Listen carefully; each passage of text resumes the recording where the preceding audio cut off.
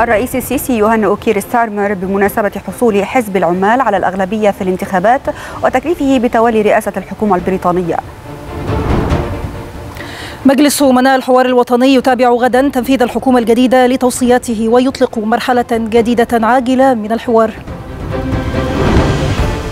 وبوتين يطالب بانسحاب القوات الأوكرانية من المناطق التي تطالب بها موسكو من أجل إنهاء الحرب.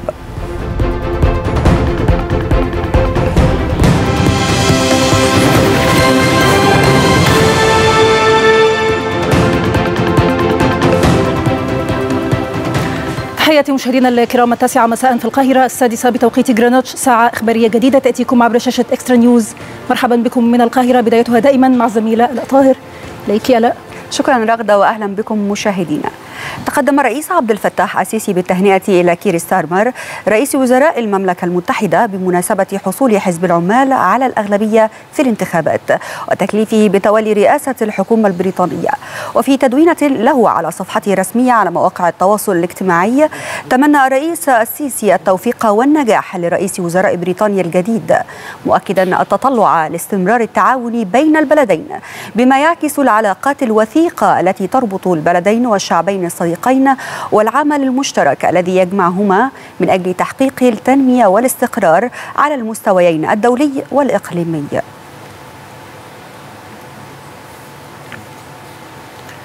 إلى ذلك هنأ الرئيس عبد الفتاح السيسي أبناء الجاليات المصرية المسلمة بالخارج بمناسبة حلول العام الهجري الجديد 1446 وفي برقية تهنئة بهذه المناسبة نقلتها سفارات وقنصليات مصر بالخارج إلى أبناء الجاليات المصرية. أعرب الرئيس السيسي عن أصدق التهاني القلبية وأطيب التمنيات بمناسبة بدء العام الهجري الجديد. داعيا الله تعالى أن يكون العام الجديد عام خير وازدهار. تتحقق فيه الأمال والطموحات في غد مشرق ومستقبل أفضل لمصر العزيزة ولشعبها العظيم.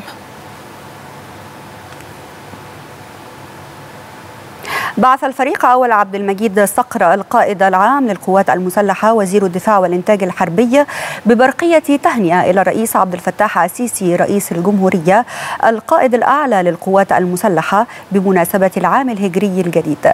كما بعث الفريق أحمد خليفة رئيس الأركان حرب القوات المسلحة ببرقية تهنئة للرئيس السيسي بمناسبة العام الهجري الجديد. وفي إطار مبادرة كلنا واحد تحت رعاية رئيس الجمهورية قامت وزارة الداخلية بتوزيع مساعدات عينية على أهالي المناطق الحضرية الجديدة وذلك انطلاقا من الدور المجتمعي للوزارة.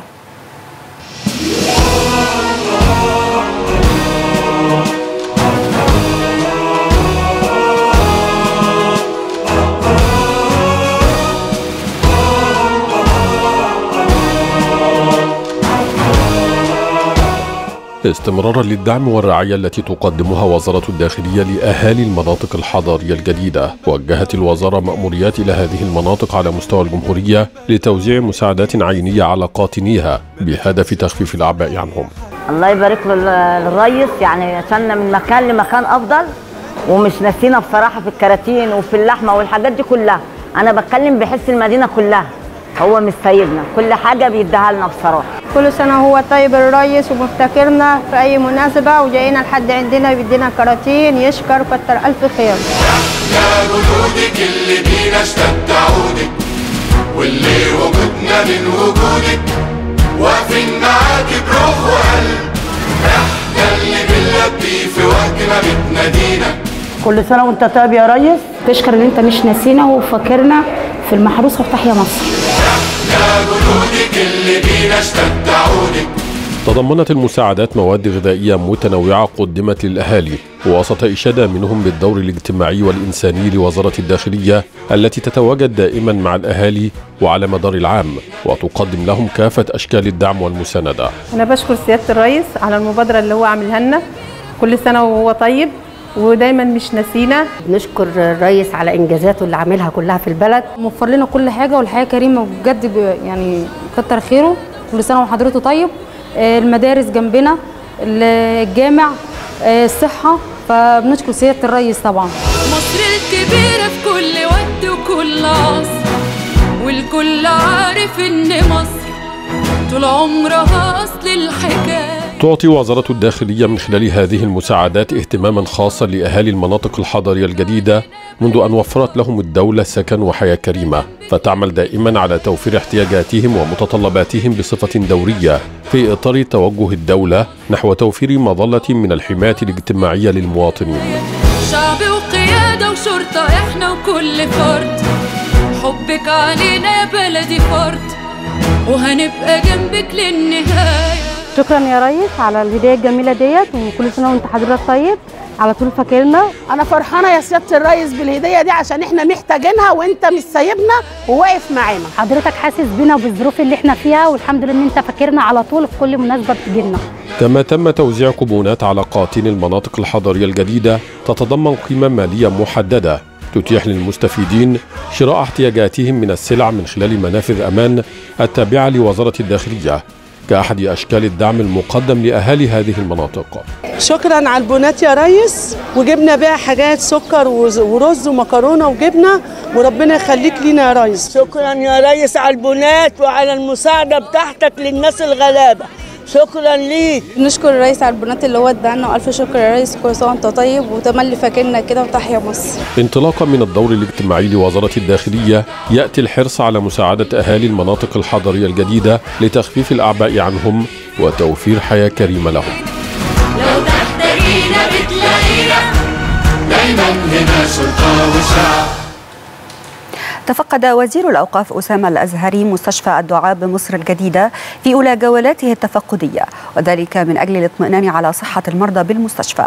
وفي إطار الاهتمام بالجانب الاجتماعي والرعاية الصحية للأئمة والدعاة وجميع العاملين بالأوقاف وخلال الزيارة استمع وزير الأوقاف إلى شرح تفصيلي من الدكتورة مها عقل رئيس مجلس الإدارة عن المستشفى والخدمات الطبية التي تقدمها المستشفى لجميع منتسبي وزارة الأوقاف من الأئمة والعاملين. بها وللمترددين عليها أيضا من غير أبناء الوزارة. وقام وزير الأوقاف بتفقد وحدات المستشفى وزيارة عدد من المرضى موجها الشكر لجميع العاملين بالمستشفى ومطالبا لهم ببذل المزيد من الجهد للارتقاء بالخدمات الصحية والطبية المقدمة للمرضى بمستشفى الدعاء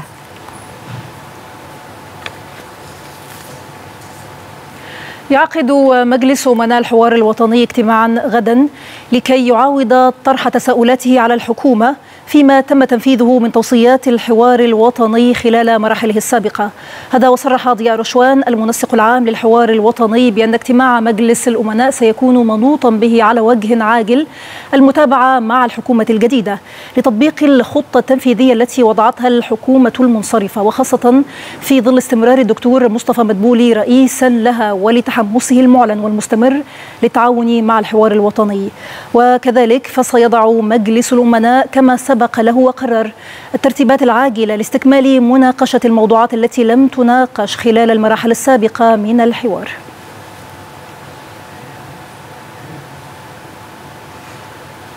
يطرح الحوار الوطني تساؤلات على الحكومة الجديدة وتنسيق معها فيما تم تنفيذه من توصيات لتحقيق تحسن ملموس في مختلف جوانب الحياة بدءا من الاقتصاد وصولا إلى الخدمات العامة. المزيد في العرض التالي.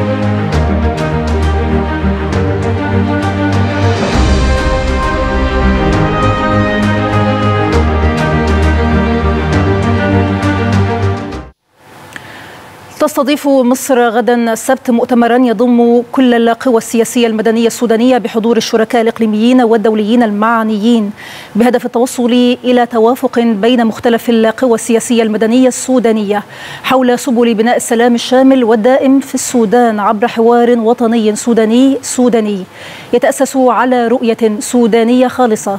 تأتي استضافة مصر للمؤتمر انطلاقا من إيمان مصر الراسخ بأن نزاع الراهنة في السودان هو قضية سودانية بالأساس وأن أي عملية سياسية مستقبلية ينبغي أن تشمل كافة الأطراف الوطنية الفاعلة على الساحة السودانية.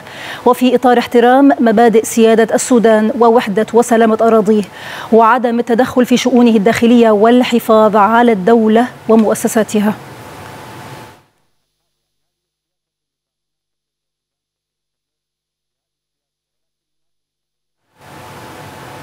يؤدي طلاب الثانوية العامة غدا امتحان الكيمياء للشعبة العلمية والجغرافيا للشعبة الأدبية. المزيد مع الزميلة آية عبد الرحمن. تحياتي لحضراتكم. يؤدي طلاب الثانوية العامة غدا السبت امتحان مادة الكيمياء الشعب العلمية والجغرافيا للشعب الأدبية ويتضمن الامتحان نحو 46 سؤال في كل مادة. وأكدت وزارة التربية والتعليم والتعليم الفني أن الأسئلة ستكون متدرجة وأيضا مدرجة من حيث الصعوبة ويتم فرز مستويات الطلاب المختلفة وتقيس أيضا نواتج التعلم المرتبطة بالمنهج الدراسي.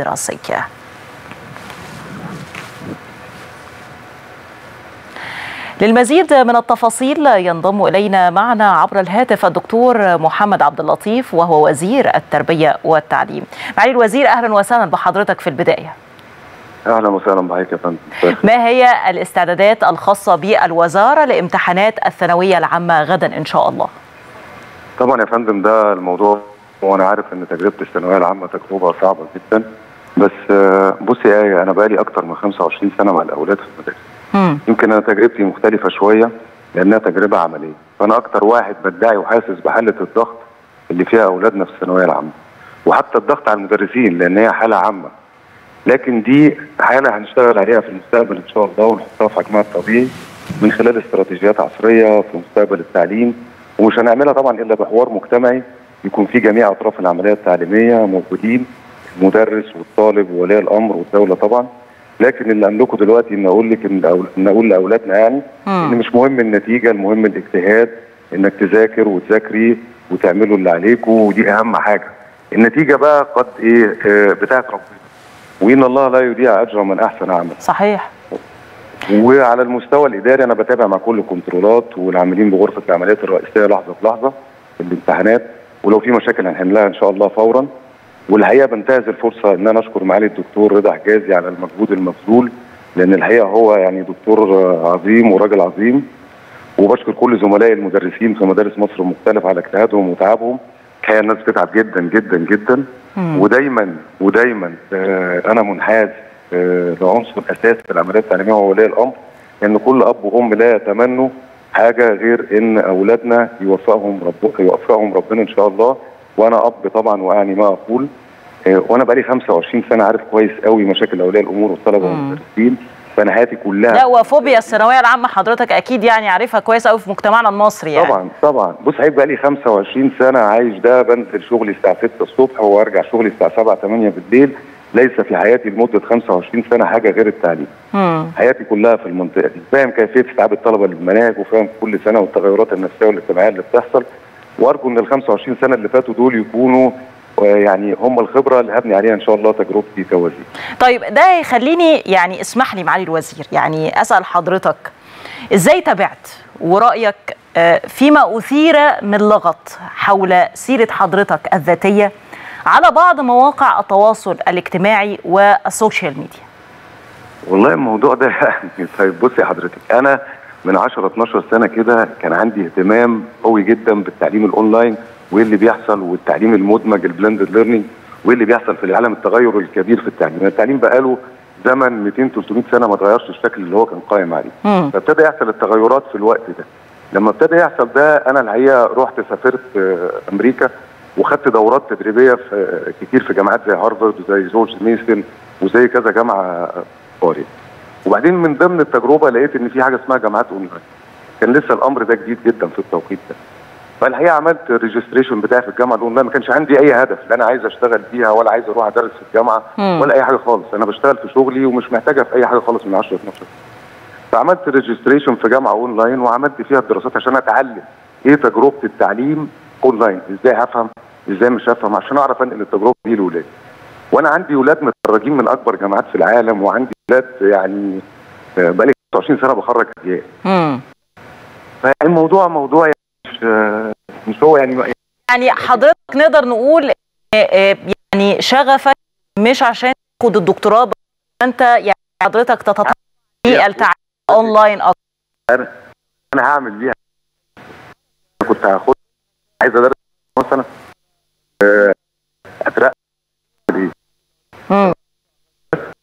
هي الفكرة تتطلع لبعض المعلومات والنوعية الجديدة للتعليم طيب بما ان حضرتك واخد دورات كتيرة يعني في موضوع التعليم المدمج وأيضا التطور الخاص بالتعليم الجديد يعني هل ده هيتم ربطه بالتعليم الفترة اللي جاية وملف التعليم ويعني الوزارة في تطوير الأداء طبعا يا فندم إحنا عندنا أربع محاور أساسية هنشتغل عليها فورا قبل العام الدراسي القادم. عندنا مشكلة الكثافة، مشكلة في نقص المدرسين شوية، عندنا مشكلة في الثانوية العامة وشكل الثانوية العامة طبعا الكلام آه، حضرتك عارفاه طبعا وعندنا محور إن الطلبة نرجع الطلبة تحضر في المدارس بشكل أكبر وتهتم بتعليمها وتحب المدرسة اللي هي موجودة فيها وتنتمي إليها. تعليم التكنولوجي برضه هيكون موجود يعني طبعا يا فندم تعليم. التكنولوجي إحنا إن شاء الله تعليم التكنولوجي موجود وفي مجهود سابق من الدكتور طارق شوقي ومجهود من الدكتور رضا حجازي في هذا الأمر والحقيقة هم حطوا مجهود كويس وإحنا هنكمل عنه إن شاء الله بإذن الله دكتور محمد عبد اللطيف وزير التربية والتعليم شكرا جزيلا لحضرتك على سعه صدرك وأيضا كل هذه التفاصيل المهمة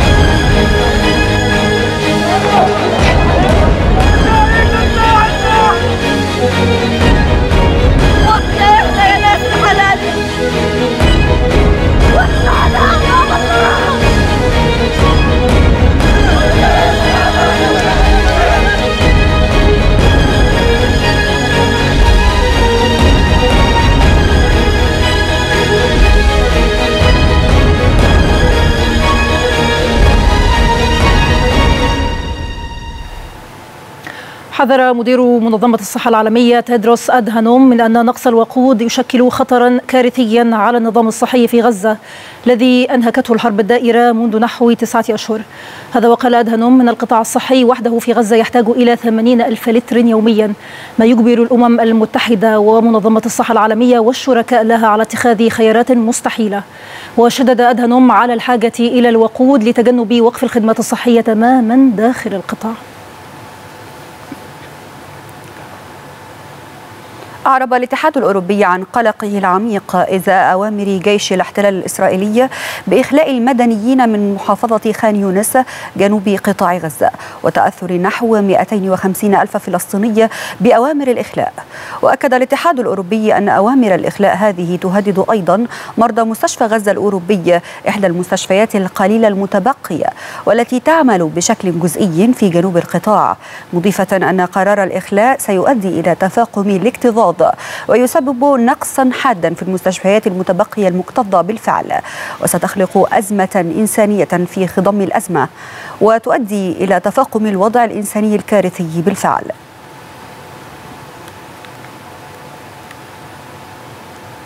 إلى ذلك استشهد العديد من الفلسطينيين وأصيب آخرون في غارات شنها طيران الاحتلال الإسرائيلي ومدفعيته على مناطق متفرقة من قطاع غزة مع دخول العدوان على القطاع إلى يومه الثالث والسبعين بعد المئتين.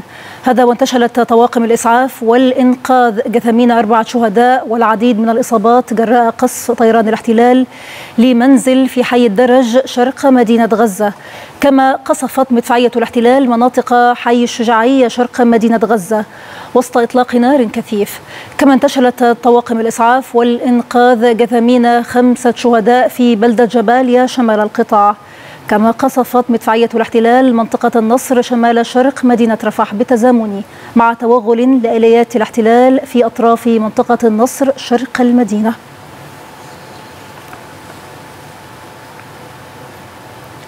استشهد سبعة فلسطينيين وأصيب آخرون خلال عدوان الاحتلال الإسرائيلي الجديد على مدينة جنين الذي استمر أربع ساعات.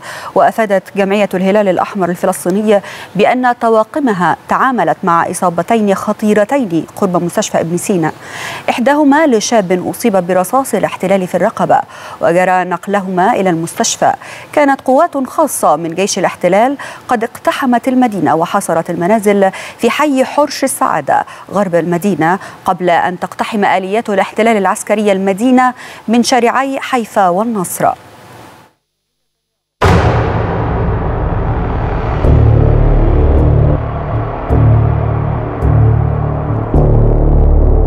من سياسة الأرض المحروقة إلى حرب الإبادة الجماعية. وجد الفلسطينيون في غزة والضفة الغربية المحتلة أنفسهم محاصرين في واحدة من أبشع الاستراتيجيات العسكرية التي تضرب بكافة القوانين الدولية والإنسانية عرض الحائط. ففي الوقت الذي تصرخ فيه غزة ألما تعاني الضفة الغربية من وحشية مفرطة.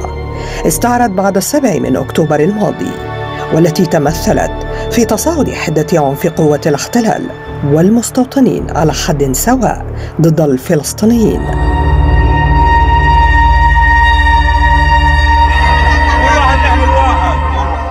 ففي جريمة جديدة لقوة الاحتلال على مدن الضفة استشهد وأصيب عدة فلسطينيين خلال اقتحام قوة الاحتلال مدينة جنين حيث قصفت طائرات الاحتلال المسيرة مجموعة من الشبان قرب دوار العودة في مخيم جنين. فيما اقتحمت آلية الاحتلال العسكرية المدينة ونشر قناصات على أسطح المنازل.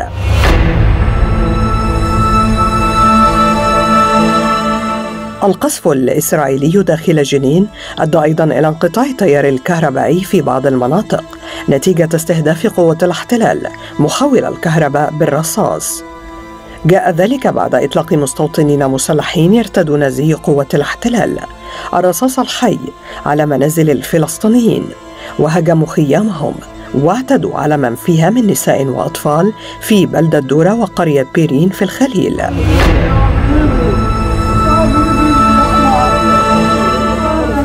الاعتداءات الأخيرة على الفلسطينيين بالضفة الغربية. تأتي في ظل توصل اقتحامات قوة الاحتلال لجميع مدن الضفة الغربية بصورة يومية. يرافقها عمليات تنكيل واسعة واعتداءات بالضرب بالإضافة إلى عمليات التخريب والتدمير الواسعة في منازل الفلسطينيين. فيما يصعد المستوطنون من هجماتهم على ممتلكات الفلسطينيين في محاولة لتهجيرهم قسرا من أراضيهم والاستيلاء عليها لصالح التوسع الاستيطاني. أصيب خمسة فلسطينيين بينهم سيدة بالرصاص الحي خلال اقتحام قوات الاحتلال الإسرائيلي بلدة بيتومر شمال الخليل. واقتحمت قوات الاحتلال البلدة وأطلقت الرصاص الحي صوب الفلسطينيين ما أدى إلى إصابة سيدة بشظايا في يدها وأربعة شبان في أطرافهم السفلية. نقلوا على إثرها إلى المشفى بالإضافة لإصابة العشرات بالاختناق جراء استنشاقهم الغاز السام ويجري علاجهم ميدانياً.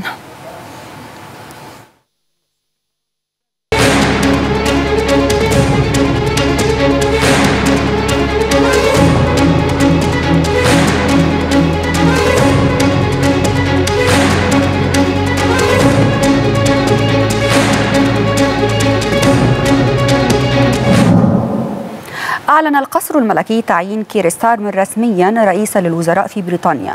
وكلف الملك تشارلز الثالث زعيم حزب العمال البريطانية بتشكيل حكومة بريطانية جديدة. جاء ذلك بعد أن قال ستارمر إن بريطانيا صوتت لصالح التغيير وإن الوقت حان لأن يفي حزبه بوعده وحقق حزب العمال البريطاني انتصارا ساحقا في الانتخابات التشريعية لينهي بذلك 14 عاما متتالية من حكم المحافظين حسب ما أظهر الاستطلاع لآراء المقترعين.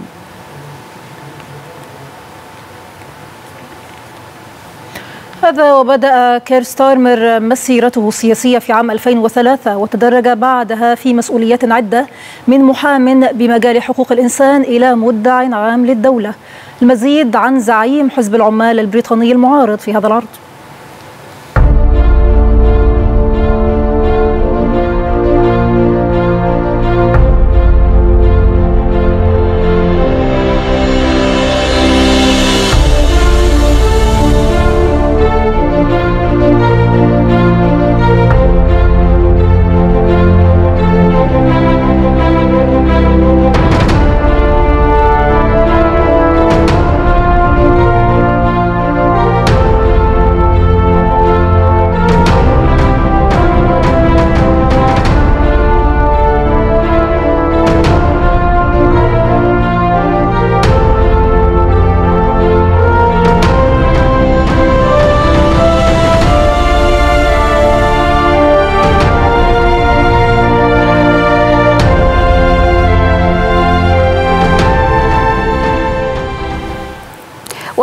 تصريحات له بعد تكليفه رسميا بتشكيل الحكومة البريطانية الجديدة. قال رئيس الوزراء البريطاني كير ستارمر إن حكومته ستعمل منذ اليوم الأول على التجديد وإعادة بناء المملكة المتحدة. وفي خطابه الذي ألقاه من مقر الحكومة في داونينج ستريت أوضح ستارمر أن الشعب البريطاني صوت من أجل التغيير وعودة حزب العمال للحكم مؤكدا أنهم سيعملون على إعادة بناء البنية التحتية في البلاد.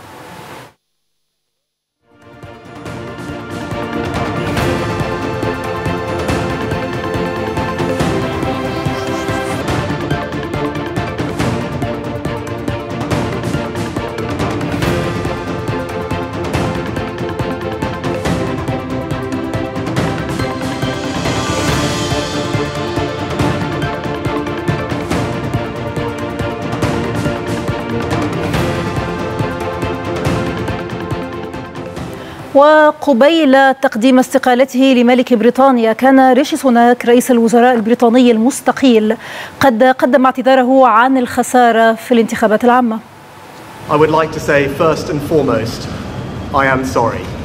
أود أن أقول أولا وقبل كل شيء إنني أعرب عن أسفي للشعب البريطاني. لقد أرسلتم رسالة واضحة وهي أن حكومة المملكة المتحدة يجب أن تتغير. صوت الشعب هو الحكم الوحيد المهم. لقد سمعت غضبك خيبة أملك. وأتحمل مسؤولية هذه الخسارة أمام جميع المرشحين المحافظين. أنا آسف لأننا لم نتمكن من تقديم ما تستحقه جهودكم. سأتنحى عن منصبي كزعيم للحزب ومن المهم أن يتم إعادة بناء حزب المحافظين. ويعد نظام الحكم في بريطانيا نظاما ملكيا دستوريا اتحاديا تحت سلطة حكومة برلمانية موحدة. المزيد عن نظام الحكم البريطاني في العرض التالي.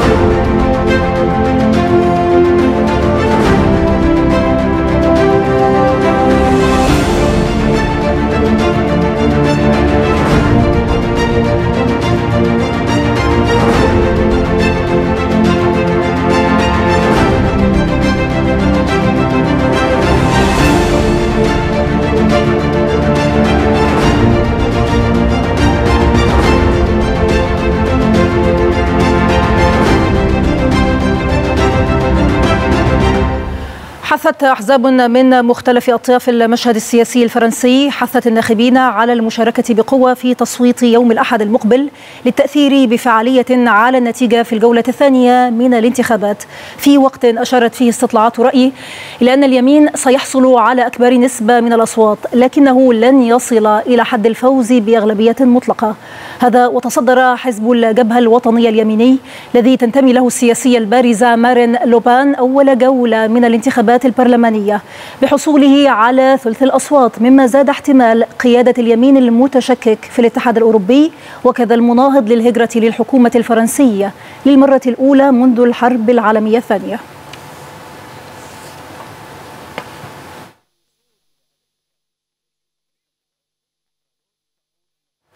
يواصل الإيرانيون التصويت في الجولة الثانية بالانتخابات الرئاسية وتجرى الجولة الثانية من الانتخابات المبكرة في دورتها الرابعة عشر بين مرشحين اثنين وهما مسعود بازشكيان وسعيد جليلي.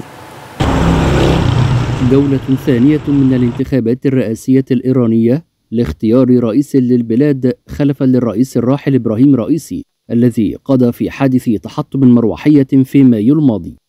هذه الجولة تجرى بين مرشحين اثنين وهما مسعود بزشكيان والمفاوض النووي السابق سعيد جليلي. وفي الدورة الأولى التي جرت الأسبوع الماضي نال بزشكيان 42.4% من الأصوات في مقابل 38.6% لجليلي.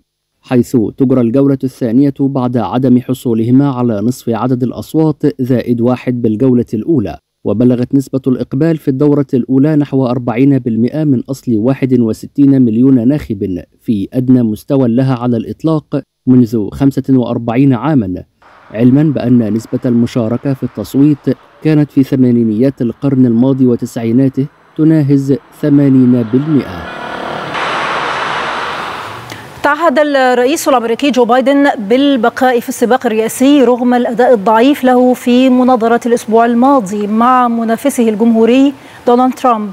واجتمع بايدن مع 24 من حكام الولايات الديمقراطيين وكذا رئيس بلدية واشنطن سواء عن بعد أو بالحضور الشخصي لطمأنتهم بأنه قادر على المضي في الترشح لولاية جديدة بعد الأداء الباهت في المناظرة.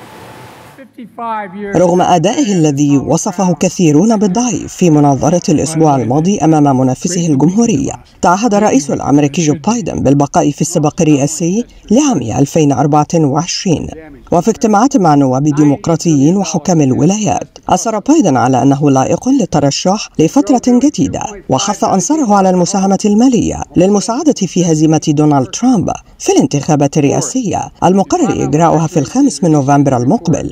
واجتمع بايدن مع 24 من حكام الولاية الديمقراطيين ورئيس بلدية واشنطن سواء عن بعد أو بالحضور الشخصي لطمأنتهم بأنه قادر على المضي في الترشح لولاية جديدة. بعد الأداء الباهت في المناظرة التي فقدت التركيز في بعض أوقاتها. وبعد فترة من المناظرة أشار استطلاعا للرأي على المستوى الوطني إلى أن فرص بايدن ضد ترامب الذي أطلق سلسلة من الأكاذيب خلال المناظرة قد تراجعت. وأظهر استطلاع لصحيفة وول ستريت جورنال أن ترامب يتفوق على بايدن بهامش 48% إلى 42% بزيادة نقطة مئوية واحدة. بينما وجد استطلاع أجرته صحيفة نيويورك تايمز أن ترامب تقدم على بايدن بثلاث نقاط مئوية إلى 49% مقابل 43% وبينما سلطت حملة بايدن الضوء على النجاح في جمع التبرعات من المانحين على المستوى القاعدة الشعبية والتواصل مع مانحين آخرين للسيطرة على الأضرار. دعا أحد كبار المانحين في الحزب الديمقراطي بايدن إلى الانسحاب. أعلنت تايوان رصد 36 طائرة حربية وست سفن حربية صينية في محيط الجزيرة خلال الساعات الأربع والعشرين الماضية. ما دفع تايبي لإرسال 62 طائرة عسكرية حول الجزيرة خلال الساعات الماضية ليصبح العدد الأعلى في يوم واحد خلال هذه السنة. 75 عاما من حالة الخلاف الذي بدأ منذ انتهاء الحرب العالمية الثانية ولا يزال قائما بين الصين التي تعد من أكبر القوى الاقتصادية في العالم وتايوان الرائدة عالميا في قطاع التكنولوجيا وصناعة الرقائق الإلكترونية. ففي حلقة جديدة من مسلسل الضغوط المتزايدة التي تمارسها بكين على تايبي أعلنت تايوان رصد 36 طائرة حربية صينية في محيط الجزيرة خلال الساعة الماضية. يأتي ذلك بعد أيام مصادرة خفر السواحل الصيني. قاربا تايوانيا للاشتباه بأنه كان يقوم بعملية صيد بطريقة غير قانونية قبالة سواحل كوانشتو الصينية وعلى مقربة من جزر كانمان التايوانية. من جانبها أكدت تايبي أن القارب كان يعمل في منطقة صيد تقليدية للجانبين وطالبت بالإفراج عنه فورا. صعدت الصين ضغوطاتها على تايبي في السنوات الأخيرة. وأجرت مناورات حول الجزيرة في أعقاب تنصيب الرئيس الجديد لاي تشينغ تي مهامه في العشرين من مايو الماضي حيث تعتبره بكين انفصاليا خاصة بعد خطابه الذي تعهد فيه بالدفاع عن الديمقراطية في تايوان وحرية الجزيرة. ومنذ تولي لاي مهام منصبه حشدت الصين مرارا سفنا حربية وطائرات وجنودا وقاذفات صواريخ في محاكاة لتطويق الجزيرة. إذ تعتبر الصين تايوان جزءا من أراضيها ستسترد حتى وإن تطلب الأمر استخدام القوة.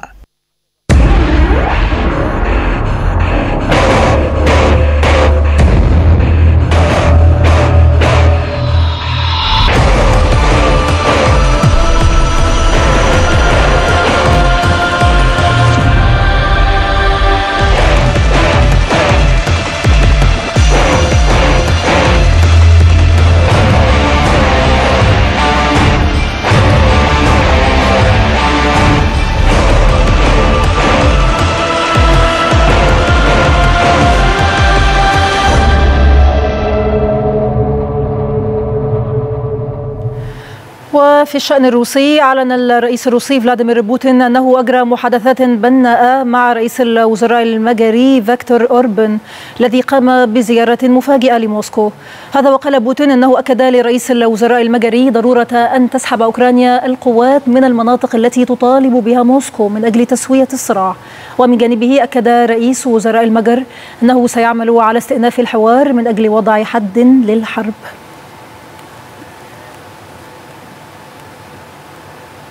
يعقد يعقد قادة حلف الناتو اجتماعا يوم الثلاثاء المقبل في واشنطن حيث من المقرر أن يتعهدوا خلاله بمواصلة ضخ الأسلحة والذخائر إلى أوكرانيا بالمستويات الحالية لمدة عام آخر على الأقل.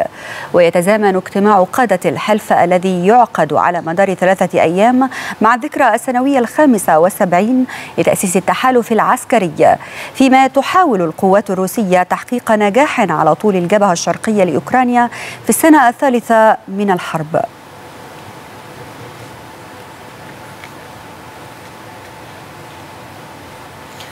أعلنت ألمانيا وصول نظام الدفاع الجوي الثالث من طراز باتريوت إلى أوكرانيا لمساعدة البلاد على مواجهة القصف الروسي. وقالت السفارة الألمانية في كييف أن الطاقم الأوكراني سيستخدم هذا النظام أكمل بنجاح التدريب المناسب في ألمانيا خلال الأشهر القليلة الماضية. هذا وتطلب كييف بشكل عاجل من حلفائها الغربيين أنظمة دفاع جوي حديثة وجديدة لحماية نفسها من الضربات الروسية التي استهدفت العديد من محطات الطاقة وحتى المطارات العسكرية في الأشهر الأخيرة.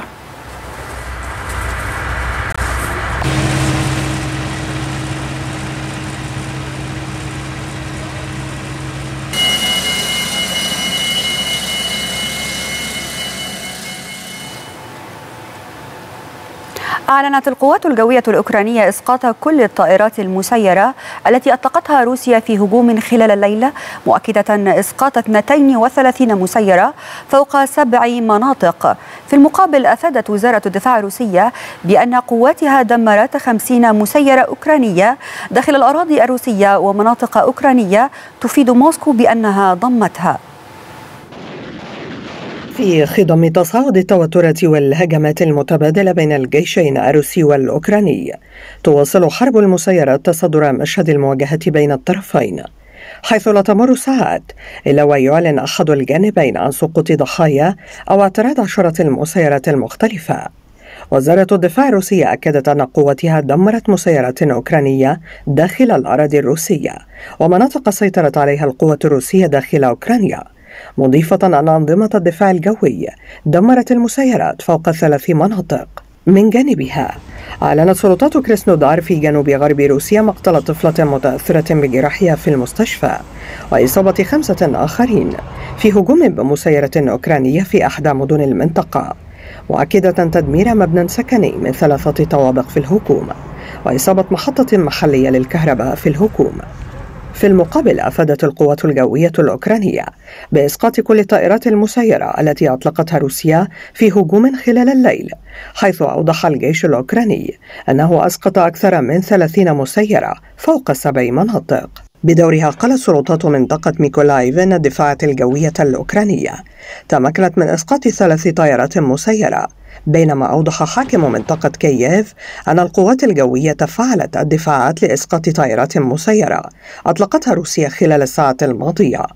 ومن الجو إلى بحر تستعر فيه حرب المسيرة بين الجيشين حيث قالت أوكرانيا إن أسطول البحر الأسود التابع للبحرية الروسية اضطر إلى إعادة تمركز جميع سفنه الحربية في شبه جزيرة القرم إلى مواقع أخرى. بسبب الهجمات التي شنتها القوات الأوكرانية على قاعدة سيفستوبول بسفن مسيرة ما ألحق أضرارا جسيمة بالقاعدة الروسية.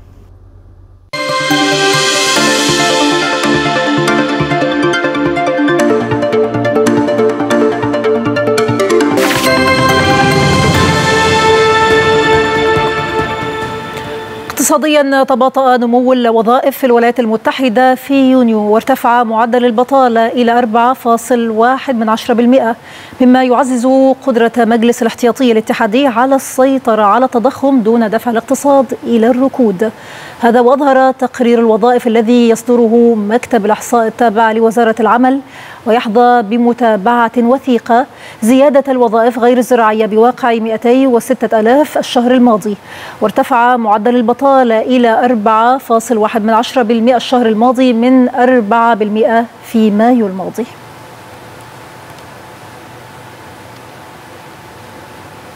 تراجع الإنتاج الصناعي في ألمانيا بشكل غير متوقع في مايو مما يزيد من الدلائل على أن قطاع الصناعات التحويلية في أكبر اقتصادات أوروبا لن يتعافى في الأشهر المقبلة. وقال مكتب الإحصاءات الاتحادية إن الإنتاج الصناعي انخفض في مايو 2.5 من 10% مقارنة بالشهر السابق.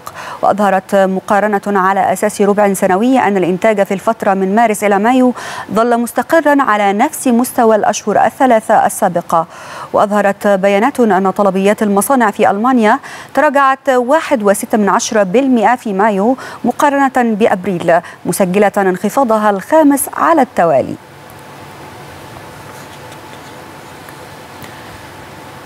كشفت بيانات بنك كوريا الجنوبية المركزي عن تسجيل البلاد أكبر فائض في الحساب الجاري في 32 شهرا في مايو الماضي على خلفية الزيادة الحادة بالفائض التجاري وزيادة توزيعات الأرباح. وبلغ فائض الحساب الجاري لكوريا الجنوبية 8 مليارات و920 مليون دولار في مايو الماضي ليصبح الأكبر منذ سبتمبر عام 2021 هذا وارتفعت صادرات كوريا الجنوبية بمقدار 11.1% على أساس سنوي إلى 58 مليارا و950 مليون دولار في مايو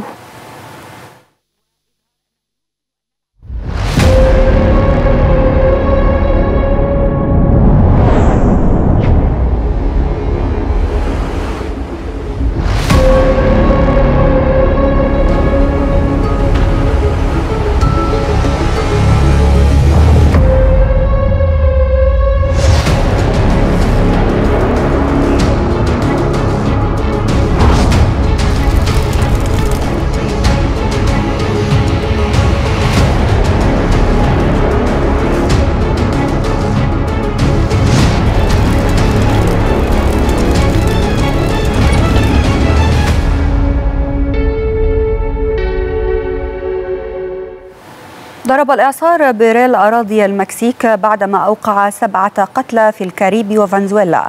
وأفاد المركز الوطني للأعاصير في ميامي بولاية فلوريدا الأمريكية بأن الإعصار يترافق مع رياح تصل في حدها الأقصى إلى 160 كيلومتر في الساعة.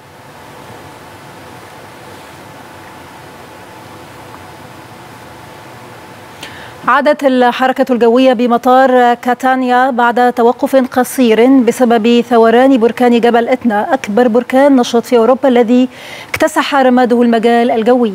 هذا وتطلب الأمر تنظيف تنظيف المدرج المغطى بالرمال للسماح باستئناف الرحلات الجوية المغادرة من المطار.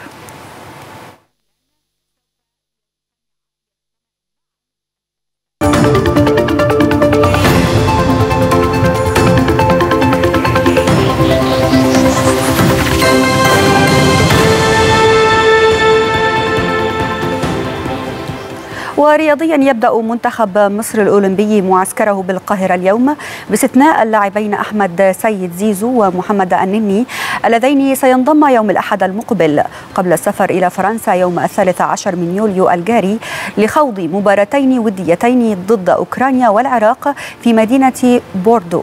ويلعب الفراعنة في الأولمبياد ضمن المجموعة الثالثة بجانب إسبانيا وأوزبكستان وجمهورية الدومينيكان.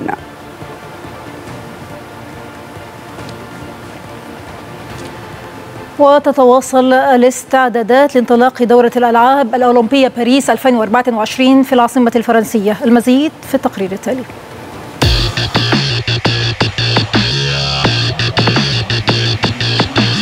على قدم وساق تتواصل الاستعدادات لانطلاق دورة الألعاب الأولمبية باريس 2024 العاصمة الفرنسية كشفت عن مكان الألعاب الأولمبية في ساحة الكونكورد الشهيرة والتي ستستضيف التزلج في الشوارع والمتنزهات. وسباق ال BMX الحر والكسر وكرة السلة 3 x 3 واستعدادا للانطلاق يواصل العمال وضع اللمسات الأخيرة على المنشآت المؤقتة التي تقع في الجزء السفلي من شارع مع إطلالة على برج إيفل ومتحف اللوفر والجمعية الوطنية الفرنسية. لقد نظرنا إلى ما نحتاجه من حيث البنية التحتية طويلة المدى وكل شيء لم نحتاجه أو لم نتمكن من استغلاله بعد الألعاب تم تصوره كبنية تحتية مؤقتة. كان هذا هو الحال بالنسبة للرياضات الحضرية. خاصة لأنها بنية تحتية كبيرة. بدا من المناسب بالنسبة لنا أن نضعها في أماكن مميزة ورمزية للحصول على تأثير بصري وتجربة رياضية استثنائية قدر الإمكان. وأعتقد أننا هنا سنحقق هذين الهدفين. وتم بناء الملعب على مدى ثمانية أشهر من قبل شركة تصميم وبناء حدائق أمريكية. وسط توقعات أن يستقبل المكان 25 ألف متفرج يوميا خلال الألعاب. جميع الهياكل المقامة سيتم إزالتها بعد الألعاب الأولمبية ولكن من المقرر استخدامها مرة أخرى في أحداث أخرى حيث سيتم استخدام أحد الملاعب في بطولة العالم للدراجات لعام 2027 كما من المقرر تركيب البنية التحتية لشوارع التزلج في موقع آخر بالقرب من باريس.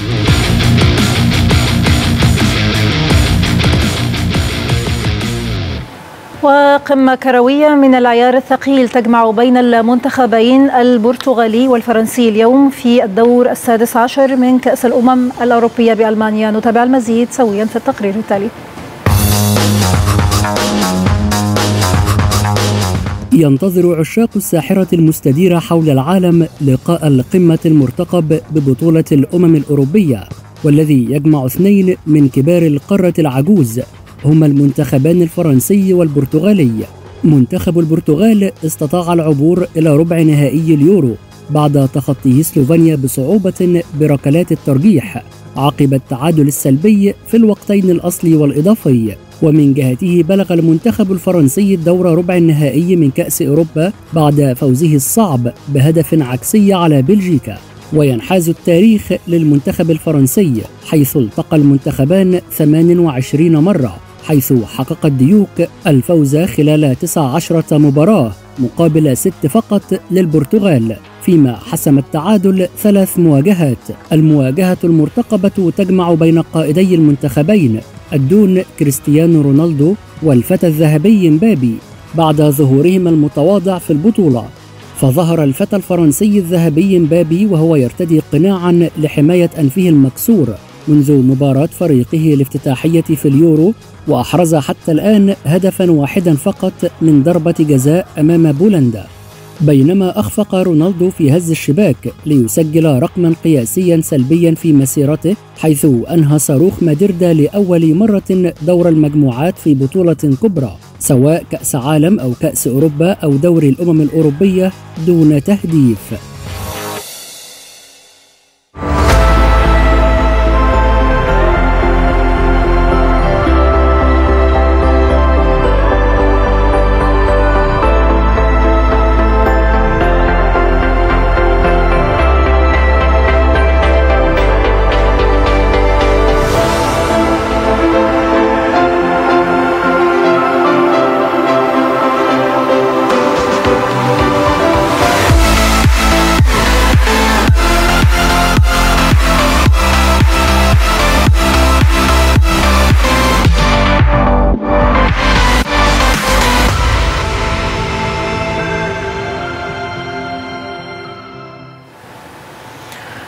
ختام التاسعة تذكرة دائما بأبرز عناوينها.